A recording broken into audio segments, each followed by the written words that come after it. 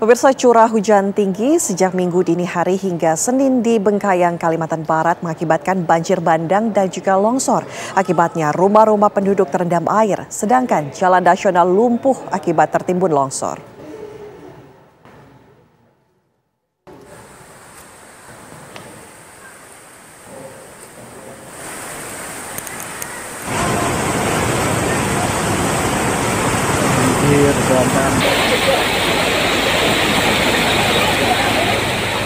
Aliran bendungan Madi yang menjadi sumber air bersih masyarakat Kabupaten Bengkayang meluap setelah hujan deras melanda Kalimantan Barat sejak minggu dini hari.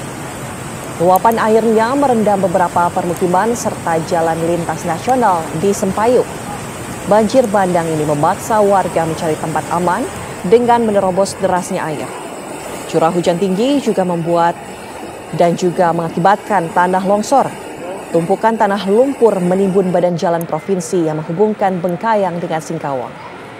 Badan Penanggulangan Bencana Daerah Kabupaten Bengkayang mengimbau masyarakat untuk waspada karena curah hujan tinggi di Bengkayang diperkirakan masih akan berlangsung selama sepekan ke depan. Mobil nggak bisa lewat.